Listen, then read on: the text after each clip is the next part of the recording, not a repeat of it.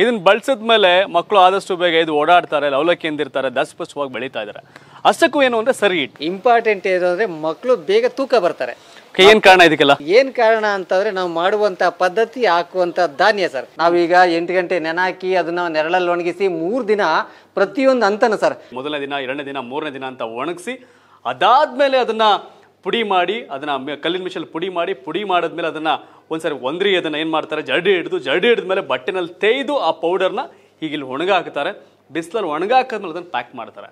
ಇದು ಒಂದು ಪ್ಯಾಕೆಟ್ ಜೀನಿ ಸರಿ ಇಟ್ಟು ನೂರ ಮೂವತ್ತೈದು ರೂಪಾಯಿ. ನನ್ನ ಮಕ್ಕಳಿಗೆ ಎಷ್ಟೇ ತಿನ್ಸಿದ್ರು ಸಹ ಅವರು ದಷ್ಟಪುಷ್ಟವಾಗಿ ಬೆಳೀತಾ ಇಲ್ಲ, ಓಡಾಡ್ತಿಲ್ಲ, ಇನ್ನೂ ತೆವಳ್ತಿದ್ದಾರೆ. ಯಾಕಪ್ಪ ಒಂದು ವರ್ಷ ಆದರೂ ಕೂಡ ಎದ್ದು ಓಡಾಡಕ್ಕೆ ಸಾಧ್ಯ ಆಗ್ತಿಲ್ಲ ಅಂತ ಭಾಳ ಚೆನ್ನಾಗಿ ಯೋಚನೆ ಮಾಡ್ತಾ ಇದ್ರು. ಆದ್ರೆ ಇದೀಗ ಮಕ್ಕಳ ಈ ಒಂದು ಸಮಸ್ಯೆಗೆ ಒಂದು ಪರಿಹಾರ ಸಿಕ್ಕಿದೆ. ಏನಪ್ಪ ಅಂತಂದರೆ ಇದನ್ನು ಬಳಸಿದ ಮೇಲೆ ಮಕ್ಕಳು ಆದಷ್ಟು ಬೇಗ ಇದು ಓಡಾಡ್ತಾರೆ ಲವಲಕ್ಕಿಂದಿರ್ತಾರೆ ದಸ್ಪಷ್ಟವಾಗಿ ಬೆಳೀತಾ ಇದ್ದಾರೆ ಅಷ್ಟಕ್ಕೂ ಏನು ಅಂದರೆ ಸರಿ ಇಟ್ಟು. ಸರಿ ಇಟ್ಟಿದ್ದೇನೆ ಹೊಸ ಕಾನ್ಸೆಪ್ಟ್ ಅಲ್ಲ ಶಿವ, ಇದು ಹಳೆ ಕಾನ್ಸೆಪ್ಟ್ ತಾನೆ, ಹೊಸದಾಗಿ ಏನಿದೆ ಅದರಲ್ಲಿ ಅಂತ.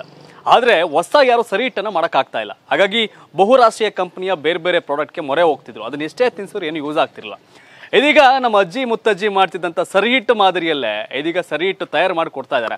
ಆ ಸರಿ ಹಿಟ್ಟಿನಂಥ ಮಕ್ಕಳು ಆದಷ್ಟು ಬೇಗ ಎದ್ದು ಓಡಾಡ್ತಾರೆ ದಸ್ಪುಷ್ಟವಾಗಿ ಬೆಳೀತಾ ಇದ್ದಾರೆ ಆರೋಗ್ಯವಾಗಿದ್ದಾರೆ. ಅಷ್ಟಕ್ಕೂ ಅದು ಯಾವುದು ಅಂತೀರಾ? ಬನ್ನಿ ನಮ್ಮ ಸಿರಿಧಾನ್ಯಗಳ ಸಿರಿವಂತ ಅಂತ ಹೆಸರು ಮಾಡಿರ್ತಕ್ಕಂಥ ದಿಲೀಪ್ ಅವರು ಜೀನಿ ಸರಿ ಹಿಟ್ಟನ್ನ ಈಗ ಪ್ರೊಡ್ಯೂ ಎಲ್ಲರಿಗೂ ಕೂಡ ಪರಿಚಯ ಮಾಡಿಕೊಟ್ಟಿದ್ದಾರೆ ಅದನ್ನು ತಯಾರು ಮಾಡ್ತಾ ಇದ್ದಾರೆ. ಸರ್ ನಮಸ್ಕಾರ. ನಮಸ್ತೆ ಸರ್. ಏನಿದು ಜೀನಿ ಸರಿ ಹಿಟ್ಟು ಏನು ಕತೆ? ಸರ್ ಇದು ಜೀನಿ ಸರಿ ಇಟ್ಟು ಅಂತಂದ್ರೆ ಮಕ್ಕಳಿಗೆ ಒಂದೊಳ್ಳೆ ಆಹಾರ ಸರ್. ಆದರೆ ಮಕ್ಕಳು ಬೇಗ ತೆರಳುತ್ತಾರೆ ಬೇಗ ಎದ್ದು ಆಡ್ತಾರೆ ಲವಲವಿಕೆಯಿಂದ ಇರ್ತಾರೆ. ಇಂಪಾರ್ಟೆಂಟ್ ಏನು ಅಂದ್ರೆ ಮಕ್ಕಳು ಬೇಗ ತೂಕ ಬರ್ತಾರೆ. ಏನು ಕಾರಣ ಇದಕ್ಕೆಲ್ಲ? ಮಕ್ಕಳು ಬೇಗ ಬೆಳವಣಿಗೆ ಆಗ್ತಾರೆ ಅದ್ರ ಜೊತೆಗೆ ಮಗು ಬೇಗ ತೂಕ ಜಾಸ್ತಿ ಆಗ್ತಾ ಇರುತ್ತೆ. ಏನ್ ಕಾರಣ ಅಂತಂದ್ರೆ ನಾವು ಮಾಡುವಂತ ಪದ್ಧತಿ ಹಾಕುವಂತ ಧಾನ್ಯ ಸರ್. ಯಾಕೆಂದ್ರೆ ಒಂದು ಸಣ್ಣ ಕೆಮಿಕಲ್ ಇಲ್ದಂಗೆ ನಾವು ಆ ಸರಿ ತಯಾರು ಮಾಡ್ತಿದೀವಿ. ಇವತ್ತು ಒಂದು ಪ್ಯಾಕೆಟ್ ಕುಡಿಯೋದ್ರೊಳಗೆ ಮಕ್ಕಳು ತೆರಳುತ್ತಾವ್ರೆ ಎದ್ದು ಓಡಾಡ್ತಾವ್ರೆ ಆರಾಮಾಗಿ ನಿದ್ದೆ ಮಾಡ್ತಾವ್ರೆ. ಅಂದ್ರೆ ಜೀನಿ ಸರಿ ಹಿಟ್ಟಲ್ಲಿ ಮಕ್ಕಳು ಎಷ್ಟು ಬೇಗ ಎದ್ದು ಓಡಾಡಬೇಕು ಅಷ್ಟು ಶಕ್ತಿ ನಮ್ಮ ಜೀನಿ ಸರಿ ಹಿಟ್ಟಲ್ಲಿದೆ ಸರ್. ಎಸ್ ಅದೇ ಯಾವ ಥರ ತಯಾರು ಮಾಡ್ತೀರಾ ತೋರಿಸ್ಬೋದಾ? ಬನ್ನಿ ಸರ್. ಎಸ್ ಬನ್ನಿ. ಏನೇನು ಹಾಕ್ತೀರಿ ಇದಕ್ಕೆ? ಏನೇನು ಹಾಕ್ತೀರಿ ಇದಕ್ಕೆ? ಸರ್ ಇದರಲ್ಲಿ ಬಂದು ಬೇರೆ ಏನು ಇರಲ್ಲ ಸರ್ ಪ್ರತಿಯೊಂದು ಧಾನ್ಯನೇ ಸರ್. ರಾಗಿ ಕಡಲೆಕಾಳು ಮುಸ್ಕಿನ ಜೋಳ ಗೋಧಿ ಬಿಳಿ ಜೋಳ ಹುಳ್ಳಿಕಾಳು ಬಾದಾಮಿ ಗೋಡಂಬಿ ಮೆಂತೆ ಮೆಣಸು ಒಂದೇ ಒಂದು ಏಲಕ್ಕಿ. ಅಂದ್ರೆ ಮಕ್ಳಿಗೆ ಜೀರ್ಣ ಆಗಲಿ ಅಂತ ಜಾಸ್ತಿ ಹಾಕ್ಬಾರ್ದು ಮಕ್ಳಿಗೆ ಈಟ್ ಆಗುತ್ತೆ ಅನ್ನೋ ಉದ್ದೇಶಕ್ಕೆ ಒಂದೇ ಒಂದು ಏಲಕ್ಕಿ ಹಾಕಿ ಪ್ರತಿಯೊಂದು ಧಾನ್ಯನು ಎಂಟು ಗಂಟೆ ಕಾಲ ನೆನಾಕಿ ಮೂರು ದಿನ ನೆರಳಲ್ಲಿ ಒಣಗಿಸಿ ಆಮೇಲೆ ಒಂದು ಗಂಟೆ ಬಿಸಿಲಿಗೆ ಹಾಕಿ ಕಲ್ಲಿನ ಮಿಷಿನ್ಗೆ ಹಾಕಿ ಪೌಡ್ರ್ ಮಾಡಿರ್ತೀವಿ ಸರ್. ಒಂದು ಪ್ಯಾಕೆಟ್ ಕುಡಿಯೋದ್ರೊಳಗೆ ಮಕ್ಕಳು ಆರಾಮಾಗಿ ತೇಳ್ತಾರೆ. ಪ್ಲಸ್ ಲವಲವಿಕೆಯಿಂದ ಇರ್ತಾರೆ ಯಾವುದೇ ಕಾರಣಕ್ಕೂ ಒಳಲ್ಲ ಸರ್. ಯಾಕೆಂದರೆ ಮಗುಗೆ ಯಾವಾಗ ಒಳ್ಳೆ ಫುಡ್ ಹೋಗಿ ಮಗು ಜೀರ್ಣ ಕ್ರಿಯೆ ಚೆನ್ನಾಗಾಗುತ್ತೋ, ಮಗು ಆರಾಮ ನಿದ್ದೆ ಮಾಡುತ್ತೆ. ಮಗು ಯಾವಾಗ ನೆಮ್ಮದಿಯಾಗಿ ನಿದ್ದೆ ಮಾಡುತ್ತೋ ಬೇಗ ಬೆಳವಣಿಗೆ ಆಗುತ್ತೆ. ಪ್ಲಸ್ ಮಗು ಯಾವಾಗಲೂ ಲೌಲಿಕೆಯಿಂದ ಇರುತ್ತೆ. ಯಾಕೆಂದರೆ ನಮ್ಮ ಜೀನಿ ಯೂಸ್ ಮಾಡಿ ಒಂದು ಪಾಕೆಟ್ ಎರಡು ಪಾಕೆಟ್ ಕುಡಿಯೋದ್ರಲ್ಲಿ ಸರ್ ಮಗು ಮೊದಲದಕ್ಕಿಂತ ಈಗ ತುಂಬ ಚೆನ್ನಾಗಿ ಹೋಗ್ತಾ ಇದೆ. ಪ್ಲಸ್ ಮಗು ಬೆಳವಣಿಗೆ ಆಗ್ತಾ ಇದೆ. ಒಳ್ಳೆ ಆಕ್ಟಿವ್ ಆಗಿದೆ ಸರ್ ಮಗು ಯಾವಾಗಲೂ ನಗ್ನಾಗ್ತಾ ಇರುತ್ತೆ ಸರ್ ಮೊದಲಿಗೆ ಕಾಟ ಕೊಡ್ತಾ ಇತ್ತು. ನಾವು ತಾಯಿ ಎದೆ ಹಾಲು ಕೊಟ್ಟರು ಸಮೇತ ಕಾಟ ಕೊಡ್ತಾ ಇತ್ತು. ಇವತ್ತು ಒಂದು ಒಳ್ಳೆ ಆಹಾರ ಕೊಡ್ತಾ ಇದ್ದೀನಿ ಸರ್. ತುಂಬ ಚೆನ್ನಾಗಿದೆ ಸರ್ ನಿಮ್ಮ ಸರಿ ಇಟ್ಟು ಅಂತ ಹೇಳ್ತಾರೆ ಸರ್. ಸರ್, ಮಗು ಏಕೆ ಬೆಳವಣಿಗೆ ಆಗುತ್ತೆ, ತೂಕ ಜಾಸ್ತಿ ಆಗುತ್ತೆ, ಯಾವಾಗೂ ಲವಲವಿಕೆಯಿಂದ ಇರುತ್ತೆ. ನೋಡಿ, ಪ್ರತಿಯೊಂದು ಧಾನ್ಯನು ಎಂಟು ಗಂಟೆ ಕಾಲ ನೆನಾಕಿ ನೆರಳಲ್ಲಿ ಹಾಕ್ತಿವಲ್ಲ, ಪ್ರತಿಯೊಂದು ಧಾನ್ಯನು ಚಿಗುರು ಮೊಳಕೆ ಬರಂಗ್ ಮಾಡಿರ್ತೀವಿ. ಯಾಕೆ ಮಗು ಬೇಗ ಬೆಳವಣಿಗೆ ಆಗುತ್ತೆ, ಯಾಕೆ ದಷ್ಟಪುಷ್ಟವಾಗಿ ಬೆಳೆಯುತ್ತೆ, ಮಗು ಯಾಕೆ ಹೆಲ್ತಿ ಆಗಿರುತ್ತೆ ಅಂದರೆ ಮಾಡುವಂಥ ವಿಧಾನ ಸರ್. ನೋಡಿ, ಇದರಲ್ಲಿ ಹುಳ್ಳಿಕಾಳು, ಜೋಳ, ಗೋಧಿ ಮೂರು ಮೊಳಕೆ ಬಂದಿರುತ್ತೆ. ಇದ್ರ ಜೊತೆಗೆ ನೋಡಿ, ನಾವು ನೋಡ್ತಾ ಇರೋದು ಕಡಲೆಕಾಳು ಪ್ಲಸ್ ಮುಸ್ಕಿನ ಜೋಳ. ಅದನ್ನು ಸಮೇತ ಎಂಟು ಗಂಟೆ ಕಾಲ ನೆನೆ ಹಾಕಿದ್ರೆ ಕಡಲೆಕಾಳು ದಪ್ಪ ಆಗ್ತವೆ, ನೀರಿನಂಶ ಜಾಸ್ತಿ ತಾಳುತ್ತೆ. ಅದು ನೆರಳಲ್ಲಿ ಒಣಗಿಸೋದ್ರಿಂದ ಪೌಷ್ಟಿಕಾಂಶ ಜಾಸ್ತಿ ಆಗುತ್ತೆ. ನಾವು ಪ್ರತಿಯೊಂದು ರಾಗಿನೂ ನೋಡಿ ಸರ್, ರಾಗಿನೂ ಸಮೇತ ಚಿಗುರು ಮೊಳಕೆ ಬಂದಿದೆ. ಜಾಸ್ತಿ ಮೊಳಕೆ ಬಂದಿಲ್ಲ. ಎಂಟು ಗಂಟೆ ನೆನೆ ಹಾಕಿದ್ದ, ಅದನ್ನ ಜಸ್ಟ್ ಒಂದು ಆರ ತನಕ, ಒಂದು ಅವರ್ ಆರಿಸಿ, ಆಮೇಲೆ ಬಟ್ಟೆಯಲ್ಲಿ ಕಟ್ಟಿ ಇಟ್ಟು ಒಂದು ಎರಡು ಅವರ್ ನಂತರ ತೆಗೆದ್ರೆ ಚಿಗುರು ಮೊಳಕೆ ಬಂದಿರುತ್ತೆ ರಾಗಿ. ಇದನ್ನು ತಿನ್ನೋದ್ರಿಂದ ಮಗು ಬೇಗ ಜೀರ್ಣ, ಮಗುಗೆ ಬೇಗ ಜೀರ್ಣಕ್ರಿಯೆ ಆಗುತ್ತೆ, ಮಗು ಬೇಗ ತೇಳುತ್ತೆ ದಷ್ಟಪುಷ್ಟವಾಗಿ ಬೆಳೆಯುತ್ತೆ ಸರ್. ಎಸ್ ಈ ರೀತಿ ಎಲ್ಲ ಕೂಡ ಇದನ್ನು ತಯಾರು ಮಾಡ್ಕ, ಮಾಡಬೇಕಾದ್ರೆ ಪ್ರೊಸೀಜರ್ನ ಇವರು ಫಾಲೋ ಮಾಡ್ತಾರೆ. ಸರ್ ಯಾಕೆ ಮಗು ದಷ್ಟಪುಷ್ಟವಾಗಿ ಬೆಳೆಯುತ್ತೆ ಅಂದ್ರೆ ಮಾಡುವಂತ ವಿಧಾನ ಸರ್ ನಾವೀಗ ಎಂಟು ಗಂಟೆ ನೆನಾಕಿ ಅದನ್ನ ನೆರಳಲ್ಲಿ ಒಣಗಿಸಿ ಮೂರು ದಿನ ಪ್ರತಿಯೊಂದು ಹಂತನ ಸರ್ ಒಂದನೇ ಈ ಹಂತಗಳಲ್ಲಿ ಏನ್- ಏನ್ ವ್ಯತ್ಯಾಸ? ಸರ್ ಇದು ಮೊದಲನೇ ಹಂತ. ಒಂದನೇ ದಿನ ಇದು ಎರಡನೇ ದಿನ ಇದು ಮೂರನೇ ದಿನ. ಮೇಲ್ ಕಾಣುತ್ತಲ್ಲ ಅದು ನಾಲ್ಕನೇ ದಿನಕ್ಕೆ ಬಿಸ್ಲಿಗೆ ಹಾಕೋದು ಸರ್ ಅಂದ್ರೆ ಮಗುನ ನಾವು ಸ್ನಾನ ಮಾಡಿಸಿದ್ಮೇಲೆ ಎಳೆ ಬಿಸ್ಲಿಗೆ ಮಗು ನಿಡಿ ಅಂತಾರೆ.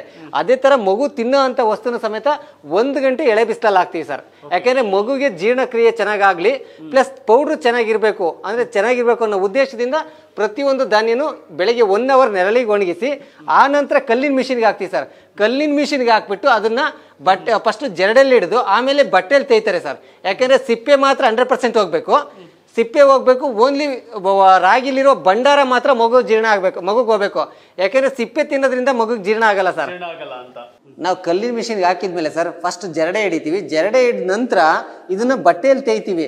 ಬಟ್ಟೆಯಲ್ಲಿ ತೇಯೋದ್ರಿಂದ ಏನಾಗುತ್ತೆ? ಸಿಪ್ಪೆ ಎಲ್ಲ ಬಟ್ಟೆ ಮೇಲೆ ಬರುತ್ತೆ. ಒಳಗಡೆ ಭಂಡಾರ ಮಾತ್ರ ಹೋಗುತ್ತೆ. ಆ ಭಂಡಾರ ಯಾವಾಗ ಮಗು ತಿನ್ನುತ್ತೋ ಆರಾಮಾಗಿ ನಿದ್ದೆ ಮಾಡುತ್ತೆ ಆರಾಮಾಗಿ ಮಲಗುತ್ತೆ. ಆರಾಮಾಗಿ ಜೀರ್ಣಕ್ರಿಯೆ ಆಗುತ್ತೆ. ಯಾವಾಗ ಮಗುಗೆ ಜೀರ್ಣಕ್ರಿಯೆ ಆಗುತ್ತೋ ಆವಾಗ ಮಗು ಸಲೀಸಾಗಿ ಮಲಗುತ್ತೆ, ಬೇಗ ಬೆಳವಣಿಗೆ ಆಗ್ತಾರೆ, ಪ್ಲಸ್ ದಪ್ಪ ಆಗ್ತಾರೆ. ಮಗು ಬೆಳವಣಿಗೆ ಆಗುತ್ತೆ. ದಪ್ಪ ಆಗೋದ್ಕಿಂತ ಮಗು ತುಂಬಾ ಚೆನ್ನಾಗಿ ಬೆಳವಣಿಗೆ ಆಗುತ್ತೆ. ಲವ್ ಲವಲವಿಕೆ ಇರುತ್ತೆ ಆರಾಮಾಗಿರುತ್ತೆ ಸರ್. ಹೌದು ಸರ್. ಆದ್ರೆ ಇದು ಸಮೇತ, ಇದನ್ನು ಸಮೇತ ನಾವು ಬಟ್ಟೆಯಲ್ಲಿ ತೆಗೆದ ನಂತರ ಮತ್ತೆ ಅದನ್ನ ಬಿಸ್ಲಿಗೆ ಹಾಕ್ತೀವಿ ಸರ್. ಏನಕ್ಕೆ ಹಾಕ್ತೀವಿ? ಒಂದು ಗಂಟೆ ಬಿಸ್ಲಿಗೆ ಅಂತ ಅಂದ್ರೆ ಪೌಡ್ರ್ ಬೇಗ ಹಾಳಾಗಬಾರ್ದು ಅಂತ. ಯಾಕೆಂದರೆ ಇದರಲ್ಲಿ ಒಂದು ಸಣ್ಣ ಕೆಮಿಕಲ್ ಇರಲ್ಲ ಸರ್. ಒಂದು ಸಣ್ಣ ಕೆಮಿಕಲ್ ಯಾವಾಗ ಹಾಕಲ್ಲೋ ಅದು ಬೇಗ ಹಾಳಾಗುತ್ತೆ ಅನ್ನೋ ಉದ್ದೇಶಕ್ಕೆ ಆ ಪೌಡ್ರನ್ನ ಮತ್ತೆ ಒನ್ ಅವರ್ ಬಿಸಿಲಿಗೆ ಹಾಕಿ ನಂತರ ಪ್ಯಾಕ್ ಮಾಡ್ತೀವಿ ಸರ್. ಇದು ಒಂದು ಪ್ಯಾಕೆಟ್ ಕೊಟ್ಟು ನೋಡಬೇಕು ಸರ್ ಮಕ್ಕಳಿಗೆ ಆರು ತಿಂಗಳು ನಂತರ ಒಂದು ಪ್ಯಾಕೆಟ್ ಮಕ್ಕಳಿಗೆ ಕೊಟ್ಟು ನೋಡಬೇಕು. ಅವಾಗ ಏನು? ಜೀನಿ ಸರಿ ಇಟ್ಟಂದ್ರೆ ಏನು? ಮಗು ಯಾಕೆ ದಷ್ಟಪುಷ್ಟವಾಗಿ ಬೆಳೆಯುತ್ತೆ? ಮಗು ಯಾಕೆ ಎನರ್ಜಿ ಆಗಿರುತ್ತೆ? ಮಗು ಯಾಕೆ ಲವಲವಿಕೆ ಇರುತ್ತೆ ಅಂದರೆ ನಾವು ಮಾಡುವಂಥ ವಿಧಾನ ಅದರಲ್ಲಿ ಹಾಕಿರುವಂಥ ಧಾನ್ಯಗಳು ಸರ್. ಮಗು ಎಷ್ಟು ತಿನ್ಸಿದ್ರು ಕೂಡ ದಪ್ಪ ಆಗ್ತಿಲ್ಲ, ಆರೋಗ್ಯವಾಗಿಲ್ಲ, ಎದ್ ನಡೀತಾ ಇಲ್ಲ ಅಂತ ಯೋಚನೆ ಮಾಡೋ ಅವಶ್ಯಕತೆ ಇಲ್ಲ. ಯಾಕಂತಂದ್ರೆ ಈ ಹಿಂದೆ ಏನು ಹಳೆ ಪದ್ಧತಿಯಲ್ಲಿ ಸರಿ ಹಿಟ್ಟನ್ನ ತಯಾರು ಮಾಡ್ತಿದ್ರು, ಅದೇ ಮಾದರಿಯಲ್ಲಿ ಅದ್ಭುತವಾಗಿ ಸರಿ ಹಿಟ್ಟನ್ನ ಈಗ ದಿಲೀಪ್ ಅವರು ರೆಡಿ ಮಾಡಿದ್ದಾರೆ. ನಿಮ್ಗೆ ಗೊತ್ತಿರಲಿ, ಏನು ರಾಗಿ ಆಗ್ಬೋದು, ಗೋಧಿ ಆಗ್ಬೋದು, ಹುರುಳಿಕಾಳು ಆಗ್ಬೋದು, ಇವೆಲ್ಲವನ್ನು ಸಹ ಕಡಲೆಕಾಳು, ಮುಸ್ಕಿನ ಜೋಳ, ಎಲ್ಲವನ್ನು ಎಂಟು ಗಂಟೆಗಳ ಕಾಲ ನೀರಲ್ಲಿ ನೆನೆ ಹಾಕಿ ನಂತರ ಅದನ್ನ ತೊಳೆದು ಚೆನ್ನಾಗಿ, ತೊಳೆದಾದ್ಮೇಲೆ ಮತ್ತೆ ಒಣಗಿಸಿ ಅದನ್ನು ಅಂತ ಹಂತಗಳಲ್ಲಿ, ಮೊದಲನೇ ದಿನ, ಎರಡನೇ ದಿನ, ಮೂರನೇ ದಿನ ಅಂತ ಒಣಗಿಸಿ, ಅದಾದಮೇಲೆ ಅದನ್ನ ಪುಡಿ ಮಾಡಿ, ಅದನ್ನ ಕಲ್ಲಿನ ಮಿಷಲ್ ಪುಡಿ ಮಾಡಿ, ಪುಡಿ ಮಾಡಿದ್ಮೇಲೆ ಅದನ್ನ ಒಂದ್ಸರಿ ಒಂದ್ರಿ, ಅದನ್ನ ಏನು ಮಾಡ್ತಾರೆ, ಜರಡಿ ಹಿಡಿದು, ಜರಡಿ ಹಿಡಿದ್ಮೇಲೆ ಬಟ್ಟೆನಲ್ಲಿ ತೇಯ್ದು ಆ ಪೌಡರ್ನ ಈಗ ಇಲ್ಲಿ ಒಣಗಾಕ್ತಾರೆ. ಬಿಸಿಲಲ್ಲಿ ಒಣಗ ಹಾಕಿದ್ಮೇಲೆ ಅದನ್ನ ಪ್ಯಾಕ್ ಮಾಡ್ತಾರೆ. ಇದು ಒಂದು ಪ್ಯಾಕೆಟ್ ಜೀನಿ ಸರಿ ಇಟ್ಟು ನೂರ ಮೂವತ್ತೈದು ರೂಪಾಯಿ. ನಿಮ್ಗೆ ಗೊತ್ತಿರಲಿ, ಇದು ಒಂದು ಪ್ಯಾಕೆಟ್ನ ಮಕ್ಕಳಿಗೆ ತಿನ್ಸೋದ್ರಲ್ಲ ನಿಮ್ಗೊಂದು ರಿಸಲ್ಟ್ ಗೊತ್ತಾಗುತ್ತೆ. ಮಕ್ಕಳಲ್ಲಿ ಆ ಚೈತನ್ಯ ಬರುತ್ತೆ, ಲವಲವಿಕೆ ಬರುತ್ತೆ. ಎನರ್ಜಿ ಬರುತ್ತೆ. ಡಸ್ಟ್ ಪುಷ್ಟವಾಗಿ ಮಕ್ಕಳು ಬೆಳೀತಾರೆ. ಒಂದು ಅದ್ಭುತವಾದಂಥ ಪ್ರಾಡಕ್ಟ್ ಅನ್ನೋದಕ್ಕಿಂತ ಹಳೆ ಪದ್ಧತಿಯನ್ನು ಮುಂದುವರ್ಸ್ಕೊಂಡು ಹೋಗೋಕ್ಕೋಸ್ಕರ ಜೀನಿ ಸರಿ ಹಿಟ್ಟನ್ನು ಮಾರುಕಟ್ಟೆಗೆ ದಿಲೀಪ್ ಅವರು ಬಿಡುಗಡೆ ಮಾಡಿದ್ದಾರೆ. ಒಂದಂತೂ ಸ್ಪಷ್ಟ ಇಲ್ಲಿ, ಬೆಳೆವ ಸಿರಿ ಮೊಳಕೆಯಲ್ಲಿ ಅಂತ. ಮಕ್ಕಳಿಗೆ ನಾವೇನು ಒಳ್ಳೆ ಆಹಾರ ತಿನ್ನಿಸ್ತೀವಿ, ಆ ಆಹಾರದಲ್ಲಿ ಅವ್ರ ಆರೋಗ್ಯ ಸರಿ ಹೋಗುತ್ತೆ. ನಿಮ್ಮ ಮಕ್ಕಳು ದಸ್ಪುಷ್ಟವಾಗಿ ಬೆಳಿಬೇಕು, ಆರೋಗ್ಯವಾಗಿ ಬೆಳಿಬೇಕು, ಎದ್ದು ಬೇಗ ಓಡಾಡಬೇಕು, ಈ ಅಳಬಾರ್ದು ಯಾವಾಗಲೂ ಖುಷಿ ಖುಷಿಯಾಗಿರಬೇಕು ಅಂತಂದ್ರೆ ನಿಮ್ಮ ಮಕ್ಕಳಿಗೆ ಚಿಕ್ಕ ಮಕ್ಕಳಿಗೆ ಕಂದ ಮಗಳಿಗೆ ಜೀನಿ ಸರಿ ಹಿಟ್ಟನ್ನ ಕೊಡಿ ಅಂತ ಹೇಳ್ತಾ ಒಂದೊಳ್ಳೆ ಆಹಾರ ಯಾವ ರೀತಿ ತಯಾರು ಮಾಡೋದು ಅಂತ ದಿಲೀಪ್ ಅವ್ರು ತೋರಿಸ್ಕೊಟ್ರು. Thank you so much sir ಏನ್ ಹೇಳ್ತೀರಿ ಫೈನಲಿ ಜನಕ್ಕೆ? ಸರ್ ಫೈನಲಿ ಹೇಳ್ಬೇಕಾದ್ರೆ ಒಂದು ಪ್ಯಾಕೆಟ್ ಕೊಟ್ಟು ನೋಡ್ಬೇಕು ಸರ್ ಒಂದು ಪ್ಯಾಕೆಟ್ ಮಕ್ಳಿಗೆ ಕೊಟ್ಟು ನೋಡ್ಲಿ ಆಮೇಲೆ ಹೇಳಿ ರಿಸಲ್ಟ್ ಆಗಿದೆ ಅಂತ. ಎಸ್ ಬಹಳ ಖುಷಿ ಆಯ್ತು. ಏನು ರಾಗಿಯನ್ನ ಕಿರುಮೊಳಕೆ ಕಟ್ಟಿ ಅದನ್ನ ಒಣಗಾಕಿ ಎಲ್ಲವನ್ನೂ ಕೂಡ ಮಾಡಿದಲ್ಲ ಎಂಬತ್ತು ಪರ್ಸೆಂಟ್ ರಾಗಿ ಇರುತ್ತೆ ಇನ್ನು ಇಪ್ಪತ್ತು ಪರ್ಸೆಂಟ್ ಇತರ ಧಾನ್ಯಗಳಿರುತ್ತೆ.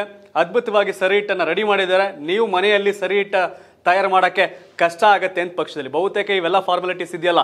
ಧೂಳು ಇಲ್ಲದೆ ಇರೋ ಥರ ಒಣಗಾಕೋದು, ಇವೆಲ್ಲ ಮಾಡೋದಲ್ಲ ಇದೆಲ್ಲ ಅದೆಲ್ಲ ಆಗಬರಲ್ಲ ಇತ್ತೀಚೆಗೆ. ಯಾಕಂದ್ರೆ ಅದು ಮಾಡ್ಲಿಕ್ಕೆ ಸಾಧ್ಯ ಆಗೋದಿಲ್ಲ. ಜೀನಿ ರೇಟನ್ನು ಒಂದು ಪ್ಯಾಕೆಟನ್ನು ಬಳಸಿ ನಿಮ್ಮ ಮಗುವಿನಲ್ಲಿ ಬದಲಾವಣೆಯನ್ನು ಖಂಡಿತ ಕಾಣ್ತೀರಾ ಅಂತ ಹೇಳ್ತಾ, ನಿಮ್ಮ ಮಗುವಿನ ಆರೋಗ್ಯದ ದೃಷ್ಟಿಯಿಂದ, ನಿಮ್ಮ ಮಗುವಿನ ಲವಲೈಕ್ಯ ಆಗಿರಬೇಕು ಅನ್ನೋ ದೃಷ್ಟಿಯಿಂದ ಜಿನಿ ರೇಟನ್ನು ಬಳಸಿ ಅಂತ ಹೇಳ್ತಾ ನನ್ನ ಈ ಒಂದು ರಿವ್ಯೂವನ್ನು ಮುಗಿಸ್ತಾ ಇದ್ದೇನೆ. ಇಲ್ಲೇ ನಂಬರ್ ಡಿಸ್ಪ್ಲೇ ಆಗ್ತಿದೆ. ಅವ್ರು ಕಾಲ್ ಮಾಡಿ ಪ್ರತಿ ಮೆಡಿಕಲ್ ಶಾಪ್ಗಳಲ್ಲಿ ಈ ಜೀನಿ ಸರಿ ಇಟ್ಟು ನಿಮಗೆ ಸಿಗುತ್ತೆ ಅಂತ ಹೇಳ್ತಾ ನನ್ನ ಕಾರ್ಯಕ್ರಮ ಮುಗಿಸ್ತಾ ಇದ್ದೇನೆ. ಧನ್ಯವಾದಗಳು.